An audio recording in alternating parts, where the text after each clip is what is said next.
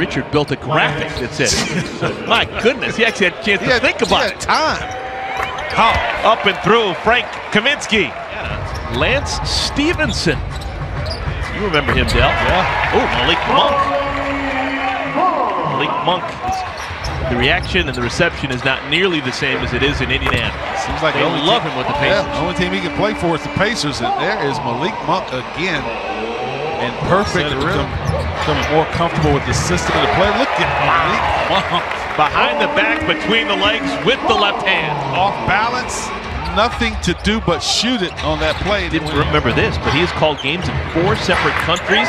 Oh, Malik Monk, second triple for the rookie out of Kentucky. Double M is money. Let's play this correctly. Monk creates space, long two, got it. All wet for Malik Monk, who keeps on keeping on. I didn't see the play. All right, To help you out there.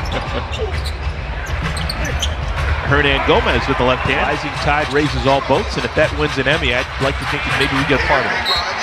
Hernangomez with the left hand. He's already, he's already got a career high with 18 field goal attempts. 17 was his high. Oh, Malik Monk doing his thing once again. 15 off the pine for the 20-year-old. Just inside against Stone. Good two-man game. Malik finds Hernangomez at the rim. Monk got in the passing lane. Malik hangs and hits. Malik Monk, 17 points. Offensively, like you said, the game got tight. Nate wants to win. Monk is having a day. 19 points. Monk.